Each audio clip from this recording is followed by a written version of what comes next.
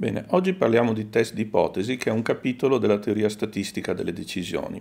Si tratta di prendere delle decisioni a partire da osservazioni che sono variabili casuali e naturalmente queste decisioni devono essere giustificate in base a considerazioni probabilistiche.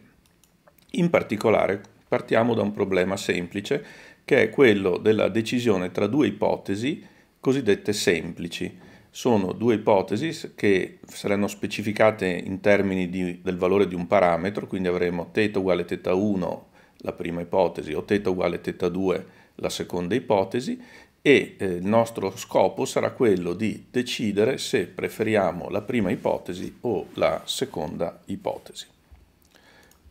Ecco, eh, cosa si intende per ipotesi semplice? Un'ipotesi semplice è un'ipotesi che specifica completamente, senza parametri incogniti, la densità di probabilità del vettore x delle osservazioni. Noi indichiamo questa densità di probabilità con la solita notazione fx apice θ di x, quindi questa è una densità di probabilità che è caratterizzata dal parametro θ e se questa, diciamo, se l'ipotesi è semplice, la conoscenza di θ è sufficiente a conoscere completamente la densità di probabilità.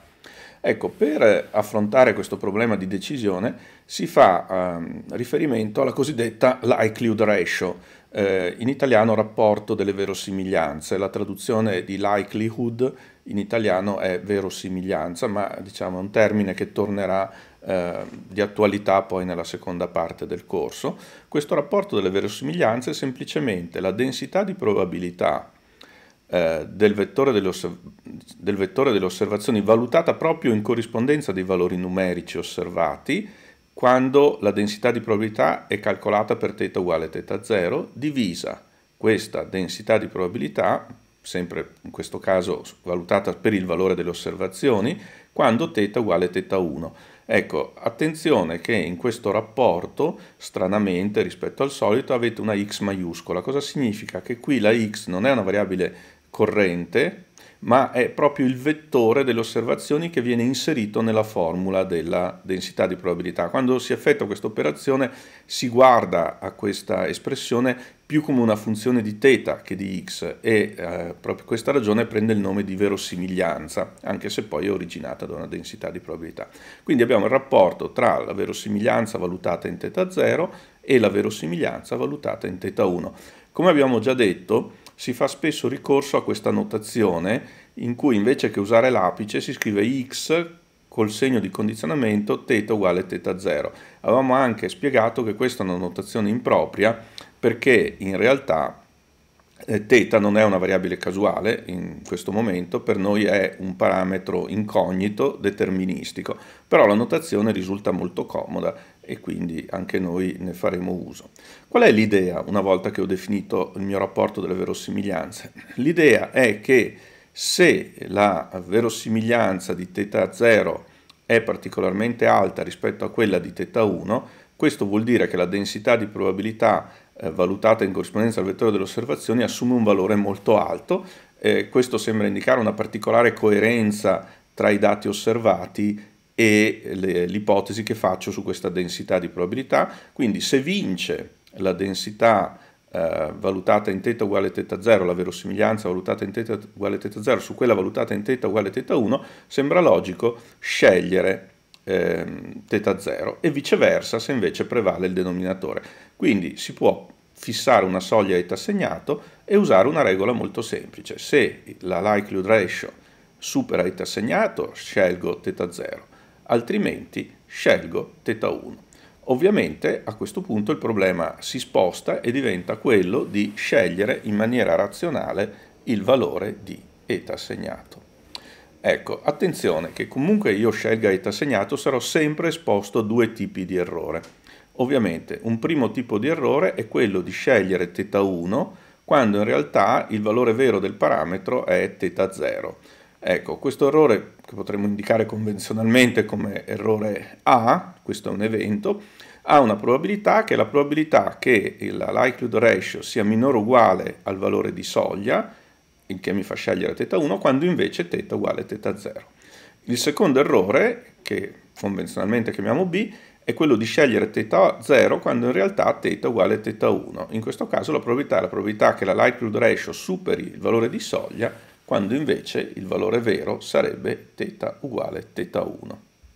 Ecco, proviamo a riassumere eh, come si comporta la mia likelihood ratio, eh, diciamo, al variare della, de, della, della soglia, quindi come si comporta la mia regola di decisione. Allora, se io aumento il valore eta assegnato della soglia, vedo aumentare la probabilità dell'errore A e viceversa diminuire quella dell'errore di tipo B.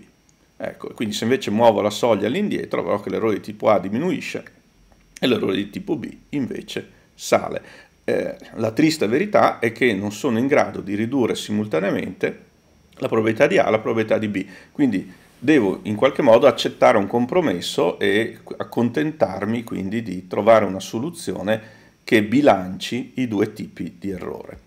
Ecco, ci sono due approcci fondamentali a questo, tipo, a questo punto. Un primo approccio può essere quello di trovare un valore di eta assegnato tale per cui la probabilità di A è uguale a k volte la probabilità di B, dove k è scelto opportunamente in base alle mie esigenze.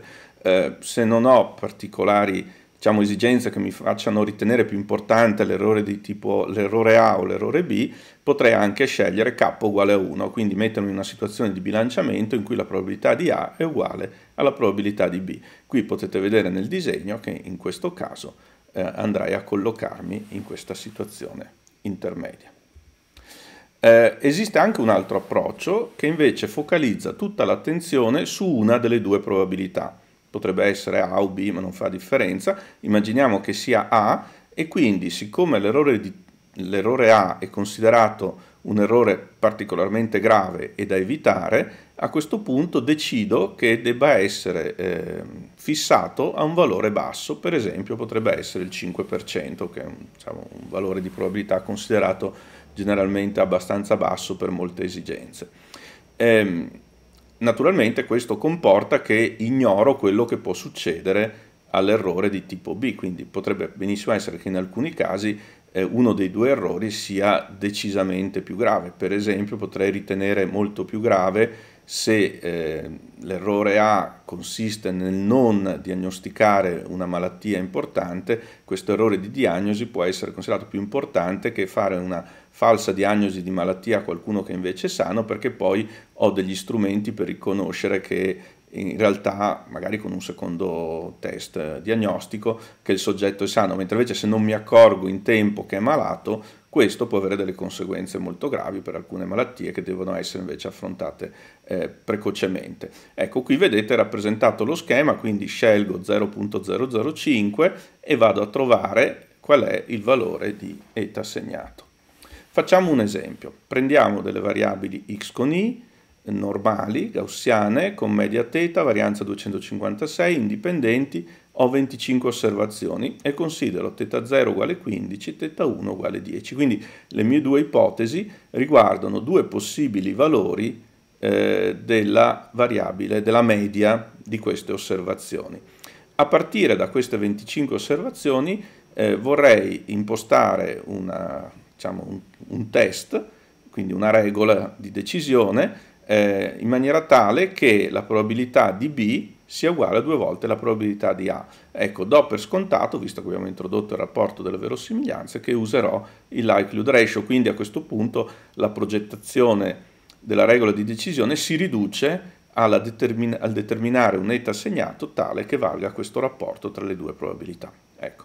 Allora, x è un vettore, qui manca un trasposto, è un vettore... Eh, x1, xn con n uguale 25, la densità del vettore x, eh, che qui scriviamo con questa notazione impropria ma comoda, condizionata a θ, è data da questa espressione ed è la gaussiana multivariata di 25 variabili indipendenti tra di loro. Quindi essendo indipendenti tra di loro qui avete semplicemente il prodotto sigma quadro n volte e qui all'esponente avete la sommatoria degli x con i meno θ al quadrato eh, sigma quadro vale 256 e quindi diciamo siamo a posto.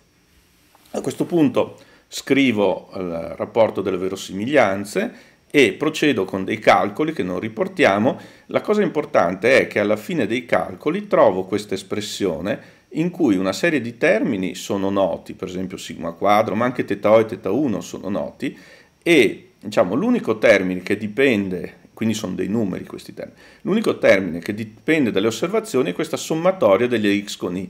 Questa sommatoria degli x con i naturalmente è uguale a n volte la media campionaria, questo è un n minuscolo, non è un n maiuscolo, n volte la media campionaria che vi ricordo ha questa espressione. Allora, questo è interessante perché ho scoperto che la likelihood ratio in realtà è una funzione monotona della media campionaria. Vi faccio notare che nei vari passaggi qui è scomparso il meno, cioè il meno è stato portato dentro la parentesi e quindi quando cresce questo termine qui, dato che c'è un esponenziale con coefficiente positivo, eh, cresce anche eta. Vi faccio notare che θ0 è maggiore di θ1, quindi una crescita della media campionaria fa crescere eta. Quindi eta è una funzione monotona crescente della media campionaria. Questo significa se la media campionaria sale, sale anche eta, se la media campionaria scende, scende anche eta. Ecco, questo è un dato interessante perché mi dice che, eh, dato che c'è una funzione monotona crescente, posso spostare la mia decisione da eta alla media campionaria, che è quello che faremo. Quindi posso guardare direttamente la media campionaria e decidere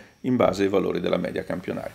E in particolare il mio passaggio successivo è cercare un valore m segnato, una soglia sulla media campionaria, una soglia sulla media campionaria, tale che eh, la probabilità che la media campionaria sia maggiore di m segnato quando vale l'ipotesi 1 sia due volte la probabilità che la media campionaria sia minore o uguale della, della soglia m segnato quando vale l'ipotesi θ0, perché se ci pensate questo è proprio l'errore di tipo B, cioè quindi è la probabilità di scegliere eh, θ0 quando invece vale θ1 e questo è l'errore A, cioè la probabilità di scegliere invece θeta 1 quando in realtà vale θ 0. Come promemoria vi ricordo che la media campionaria, qui c'è un M1, non è M segnato ovviamente, questo è un M1, che la media campionaria è distribuita gaussianamente con media teta e varianza sigma quadro diviso n, n25, le mie 25 osservazioni.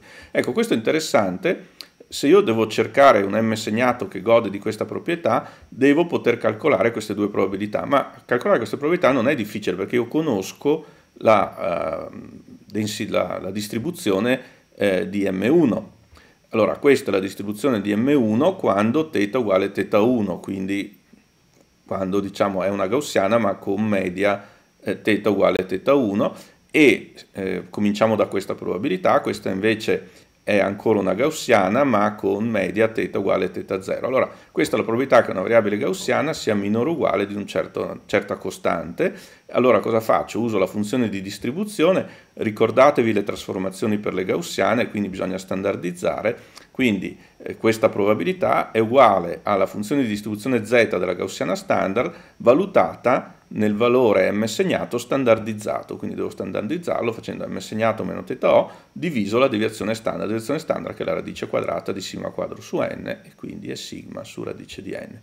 In questo caso invece la probabilità che una variabile gaussiana sia maggiore di un certo valore, ma questo si ottiene facilmente come 1 meno la probabilità di essere minore o uguale di quel valore, quindi 1 meno la funzione di distribuzione e di nuovo, ricordando le trasformazioni per le variabili gaussiane, la probabilità si ottiene come la funzione di distribuzione della gaussiana standard valutata in corrispondenza del valore numerico standardizzato, quindi standardizzo m segnato meno θ1 diviso sigma su radice di n. Ecco, qui bisogna avere un po' di pazienza, nel senso che bisogna provare con diversi valori eh, di m segnato, usando un programma di calcolo che che, che, dà la funzione di distribuzione della gaussiana, mi calcolo PDA e PDB e per tentativi a un certo punto riesco a trovare un M segnato tale per cui vale la relazione desiderata. Questo valore è 11.68.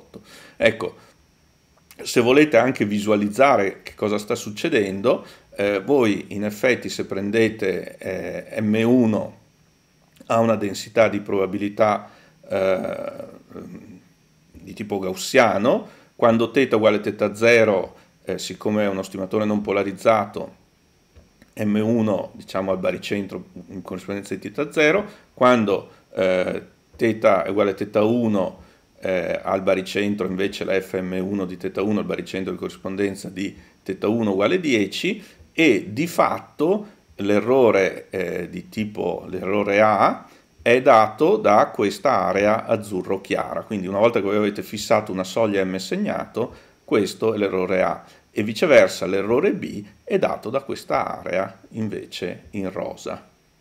Quindi di fatto quando abbiamo proceduto per tentativi abbiamo spostato questo m segnato fino a quando l'area rosa è diventata il doppio dell'area azzurra. Naturalmente noi non abbiamo bisogno di fare grandi sforzi per calcolare queste aree perché queste aree si trovano attraverso la funzione di distribuzione della gaussiana standard.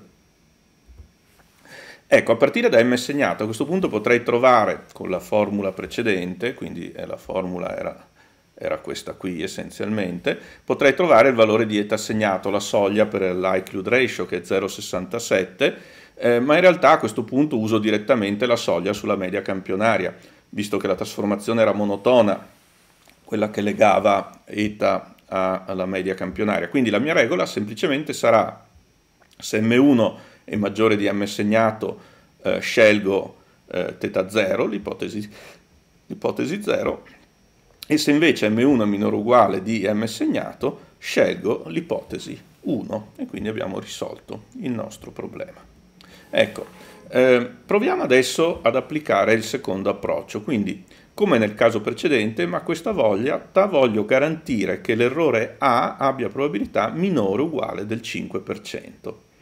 Ecco, in questo caso eh, ragiono un po' come prima, ma devo trovare un m segnato tale che la probabilità che la media campionaria sia minore o uguale di m segnato, sapendo che θ è uguale a θ 0, sia pari al 5%. Allora cosa faccio? Prendo questa espressione e standardizzo sia a sinistra che a destra del segno di disuguaglianza, quindi m1 meno θo diviso sigma radice di n, m segnato meno θo diviso sigma radice di n. E questa è una gaussiana standardizzata, quindi di fatto sto dicendo la probabilità che z sia minore o uguale di un certo valore. Quindi questa è la funzione di distribuzione della gaussiana standard valutata in m segnato meno θo diviso sigma radice di n. E io voglio che sia uguale a 0.05. Allora, il valore di z per cui la funzione di distribuzione vale 0.05 lo potete vedere qui, no? quindi questa è la densità di probabilità della gaussiana standard e io vorrei che a sinistra diciamo, ci sia un'area pari a 5%. Allora questo succede quando z è uguale a meno 1.645, quindi questo termine qui dentro è uguale a meno 1.645 con un paio di calcoli trovo il valore di m segnato che è 9.73. Ecco, eh, interessante che in quest'ultimo esempio θ1 è un po' scomparsa dalla scena, perché in effetti è come se io avessi considerato questo nuovo problema, decidere se respingere o meno l'ipotesi θ uguale θ 0. Ecco, quando si considera un problema di questo tipo, cioè se respingere o meno un'ipotesi, ehm, questa ipotesi prende il nome di ipotesi nulla e in generale a questo punto si può anche procedere senza passare attraverso il rapporto delle verosimiglianze, anche se poi in realtà eh, risulta una scelta abbastanza eh, dire, opportuna perché ha delle buone proprietà statistiche, però in generale potrei anche eh, costruire il mio, diciamo, il mio test di ipotesi scegliendo un'opportuna funzione dei dati, che nel gergo viene chiamata una statistica, eh, che chiamo omega di x e usando questa regola, se omega di x è maggiore o uguale di omega segnato, una soglia opportuna, respingo l'ipotesi nulla e se omega di x è minore di omega assegnato non respingo l'ipotesi nulla. Qualche volta potrei dire accetto l'ipotesi nulla, io eh, preferisco usare con molta parsimonia il termine accettare, perché l'idea è che in certi casi ho abbastanza evidenza sperimentale per respingere un'ipotesi, ma eh, diciamo, accettare è quasi una cosa un po' più, un po più forte, insomma, quindi eh, potrebbe benissimo essere che un'ipotesi non respinta con certi dati all'aumentare del numero, dei dati poi si, sia, si diventi in condizione di eh, poterla, invece, poterla, invece, respingere. Quindi diciamo, con più prudenza direi respingo o non respingo. Ecco, nell'esempio che abbiamo appena fatto è come se omega di x fosse m1, la media campionaria cambiata di segno, e omega assegnato fosse la soglia m assegnato eh, cambiata di segno. Allora, naturalmente, anche in questo caso abbiamo due tipi di errore.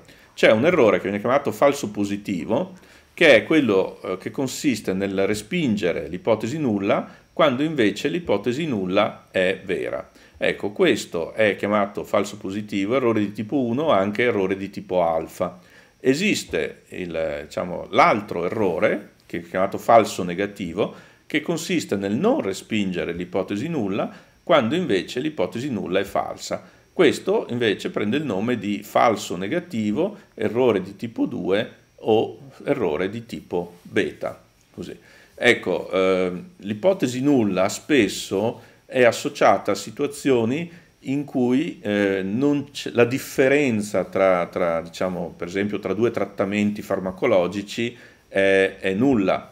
Eh, quindi, per esempio, potrebbe essere uno studio clinico in cui si somministra il placebo e si somministra un farmaco. L'ipotesi nulla è che il farmaco agisca esattamente come il placebo. Allora, in questo caso, il respingimento dell'ipotesi nulla quando invece vale l'ipotesi nulla, quindi il farmaco non fa niente, acqua fresca come il placebo, ma ciò nonostante a causa della variabilità statistica dei dati, dei dati io respingo eh, questa ipotesi nulla e quindi in qualche modo eh, esprimo un favore, eh, un parere a favore del fatto che il farmaco faccia qualcosa, ecco questo è considerato un falso, un falso positivo. Invece falso negativo sarebbe il caso in cui il farmaco non eh, diciamo, fa qualcosa, quindi ha degli effetti, ma per qualche ragione, per diciamo, anche le, le, componenti casuali nei dati, oppure per un campione insufficiente in termini di numerosità, io eh, non respingo l'ipotesi nulla, quindi ritengo che l'effetto del farmaco sia indistinguibile da quello del placebo. Ecco, in questo caso si parla di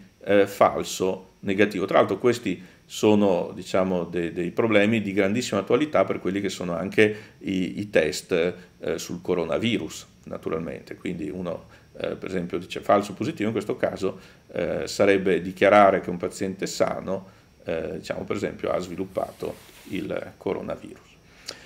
Invece falso negativo significa non accorgersi che un paziente che ha il coronavirus eh, effettivamente eh, invece ce l'ha.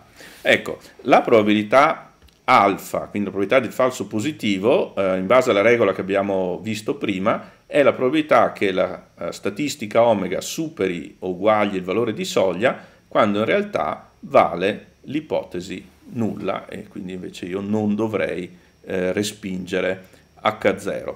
Ecco, eh, come, come, si può scegliere il valore di soglia in questo problema di accettare e respingere un'ipotesi?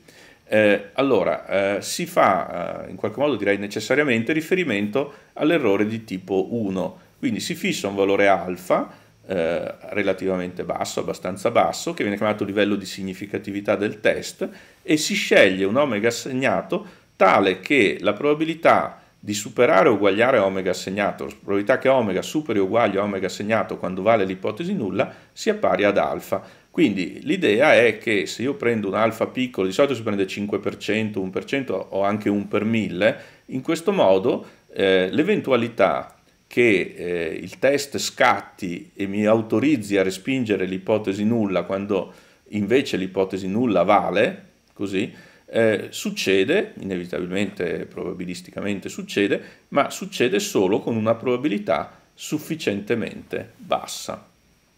Ecco, è chiaro che l'aspetto fondamentale per poter fare questo calcolo, quindi per trovare il valore di soglia, è che devo conoscere la densità di probabilità di omega data H0, quindi questo mi pone eh, in qualche modo delle condizioni sulla scelta della statistica.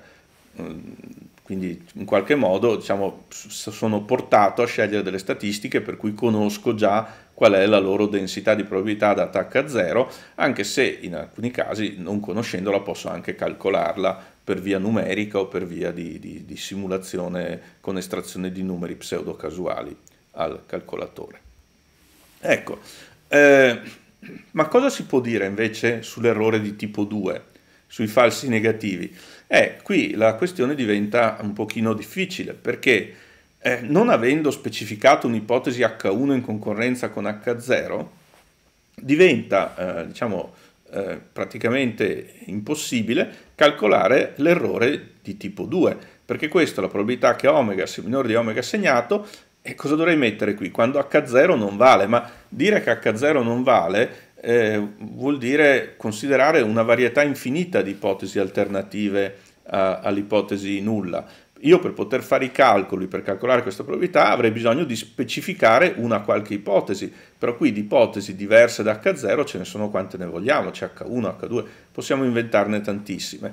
Quindi di fatto cosa si fa? Si calcola l'errore di tipo 2 spesso andando a specificare qualche ipotesi alternativa che sia particolarmente significativa. Ecco, però in, diciamo, se io cambio l'ipotesi alternativa posso avere degli errori di falso negativo eh, diversi. In questo caso per esempio potrebbe essere delle popolazioni eh, diverse di, di, di pazienti, per esempio, questa potrebbe essere una delle, delle, delle, situazioni. Quindi, mentre l'errore di tipo 1 è ben definito perché dipende dall'ipotesi nulla che ho formulato e che devo formulare in maniera precisa, l'errore di tipo 2 viene a dipendere dalle ipotesi alternative e che quindi sono aperte a una definizione che deve essere fatta.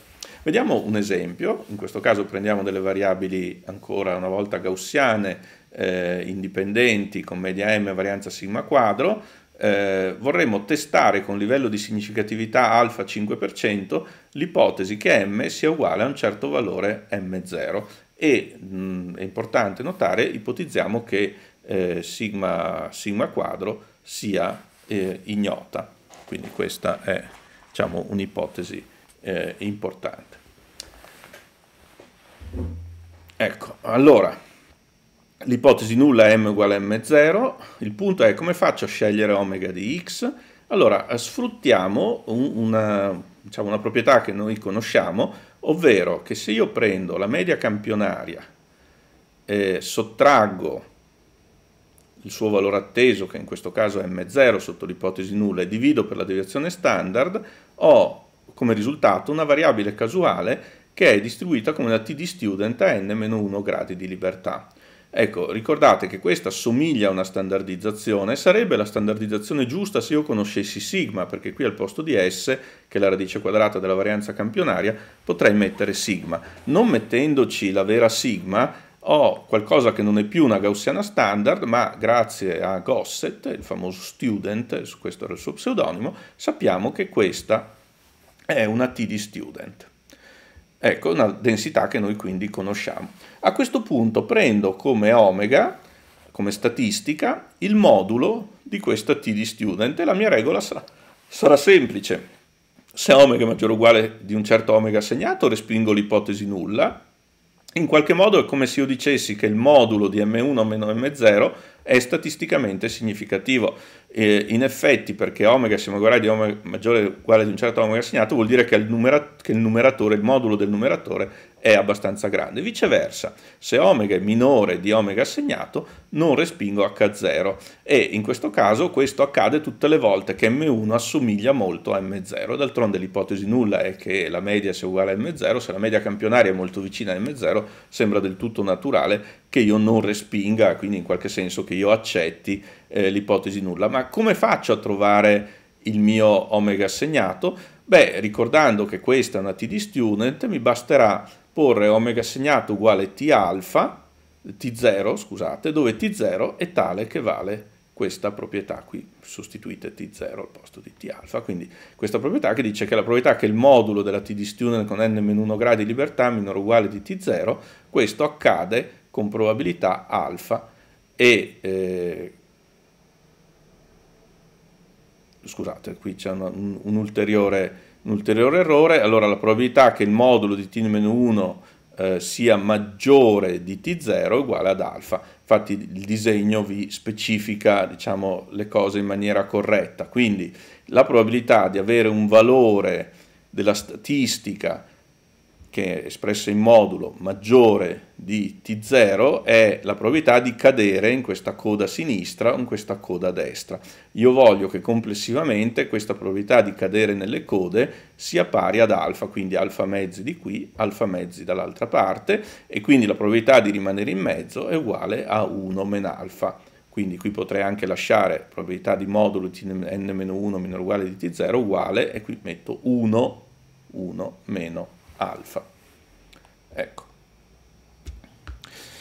Um, un'osservazione importante, la scelta di omega di x non è critica al fine di garantire che la probabilità dei falsi positivi sia uguale ad alfa. Eh, io potrei scegliere praticamente qualsiasi, quasi qualsiasi omega di x eh, immaginabile, insomma comunque ho molta libertà nella scelta di omega di x perché una volta che ne ricavo o analiticamente o per altra via la densità di probabilità, a questo punto eh, per tentativi trovo sempre il valore omega assegnato per cui garantisco una certa probabilità di falsi positivi.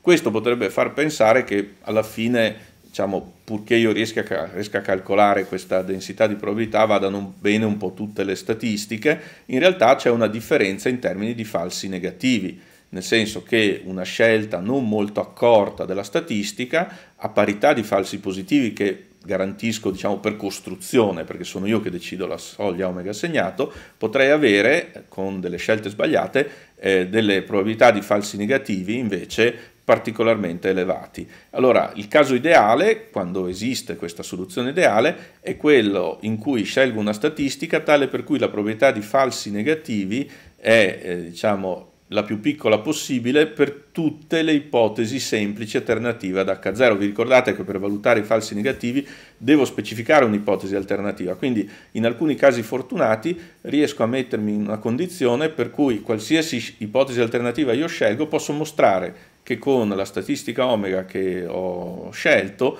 eh, la probabilità di falso negativo è sempre la più piccola possibile. In questo caso si parla di test uniformemente più potente. Il termine potenza del test è riferito alla probabilità di falsi negativi, quindi un test è più potente di un altro se ha una minore probabilità di falsi negativi. Eh, utilizzare eh, diciamo, la, la, la verosimiglianza eh, passare attraverso la verosimiglianza per trovare la statistica omega è un modo per garantirsi delle buone proprietà anche in termini di eh, falsi negativi. Ecco, direi che possiamo fermarci qui.